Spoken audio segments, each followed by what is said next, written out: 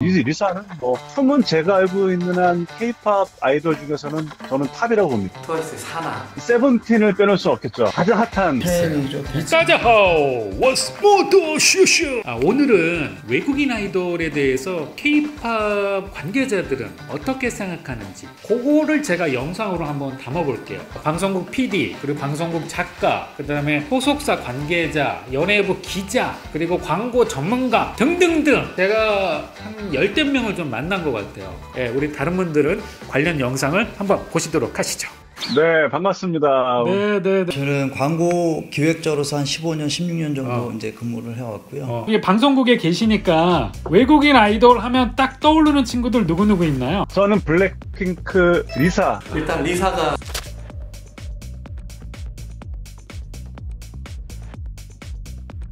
리사 같은 경우는 이제 young하지만 어. 뭔가 좀 그 약간의 성숙미가 좀 있어요. 어. 좀 고혹적인 그런 매력이라든지. 그 리사 같은 친구는 웬만한 연예인보다 한국말 잘할 것 같은데요. 춤은 제가 알고 있는 한 케이팝 아이돌 중에서는 저는 탑이라고 봅니다. 너무 아, 근데 개인적으로도 너무 좋아하던 가수인데 어. 좀 인기가 월- 원래 많았지만 어. 점점 더 많아지더라고요. 그 다음에 트와이스죠. 트와이스의 미모사라 그러죠. 사나. 톡으로 인터뷰한 국내 빅보 소속사 관계자분도 사나 팬이라고 하네요. 다른 분들도 아마 똑같을 거예요. 그냥 노래 잘하고 춤 잘 추는 거 외에 인간적으로 매력이 보일 때 조금 끌리는 것 같아요. 왜 쯔이 얘기는 안 나왔나 의아한 분들 있으시죠? 걱정 마세요. 제가 아는 광고주들은 다 쯔이 좋아해. 남자는 세븐틴을 빼놓을 수 없겠죠. 예! 요새 가장 가장 핫한 아이돌이고요. 중국 국적 있잖아요. 준하고 그래서 디에잇? 준하고 디에잇이죠. 어, 네. 최근에 보니까 뭐- 세븐틴 뭐 엘렌 쇼도 나오고 진짜 잘 나가더라고요. 아마 지금 큰 반향을 일으킬 것 같고요. 한국 팬이죠. 데뷔 시점이었을 거예요. 어, 그때 어, 그 엠넷에서 그 퍼포먼스를 봤는데 어. 어. 뭐 상당히 그 표현력이라든지 메인 댄서. 들이 되게 출중한 친구이기 때문에 어, 역동적인 이미지. 네, 어. 그래서 뭔가 좀 아웃도어 브랜드 쪽으로 좀 어- 어울리지 않을까. 어, 이외에도 서면으로 인터뷰한 여러 관계자들의 의견이 있었습니다. 소속사 관계자분, 방송 작가님,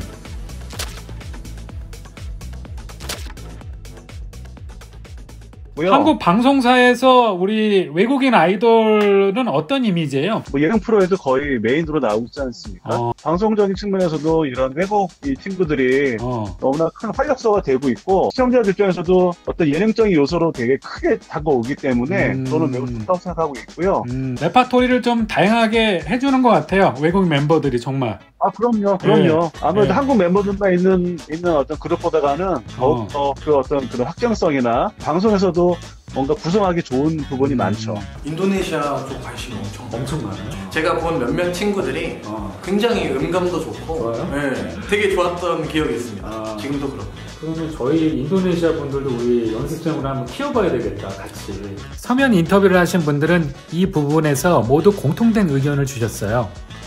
요즘은 외국인 멤버를 한국인 멤버와 다르게 보지 않는다. 다 같은 K-팝 아이돌이며 다만 한국어도 열심히 하는 점에 더 호감을 느낀다고 말해 주셨습니다.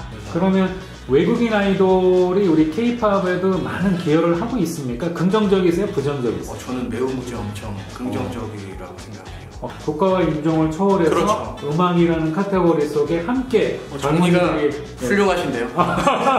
한국에서 더 K-팝에서 성공하기 위해서 어떤 조언을 준다면 딱 하나만 준다. 뭐가 있을까요? 어 호기심? 호기심?